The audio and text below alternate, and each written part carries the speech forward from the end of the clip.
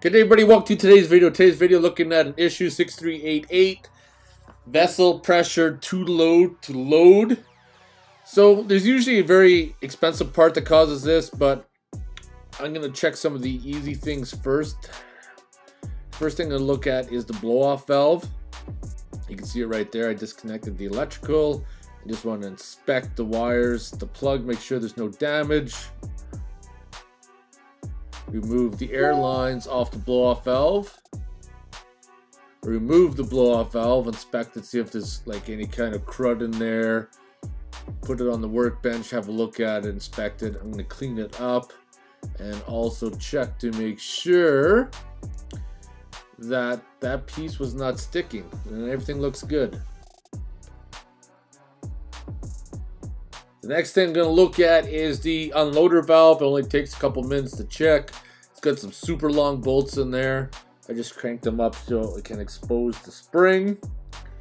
And then very gently with compressed air, I give it some compressed air just to make sure that the unloader is moving freely and not sticking because that could cause issues. So this is my suspect right here. This is the pressure vessel. I got to remove all those bolts up top to get access to it. And I removed the oil separator. That's the filter right there, the oil separator. And that's supposed to be changed every 1,000 hours. And this compressor is almost 1,700.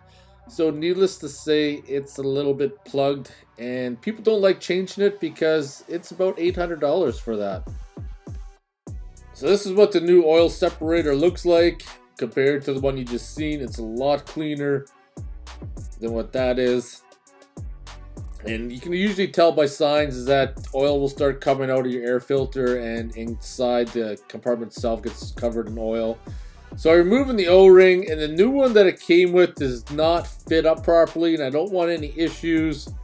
So messing around with it, trying to make it fit. I put the filter or the oil separator in and then at the last moment, I decided, you know what? I'm to put the old O-ring back in. You got to push the filter down a little bit to seat it. And there we are again with the old O-ring because it fits better. I'm all assembled and now it's time to do some testing and also find out that there's another issue at hand.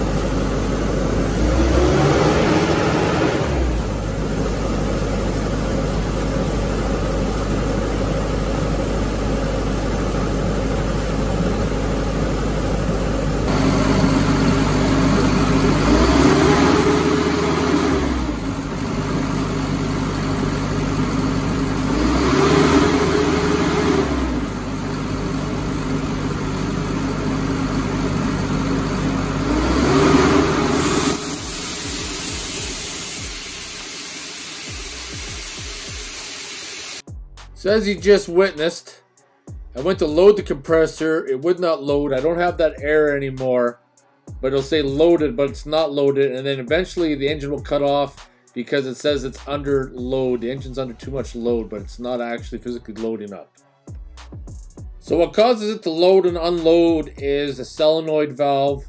And I'm going to show you that in just a second here.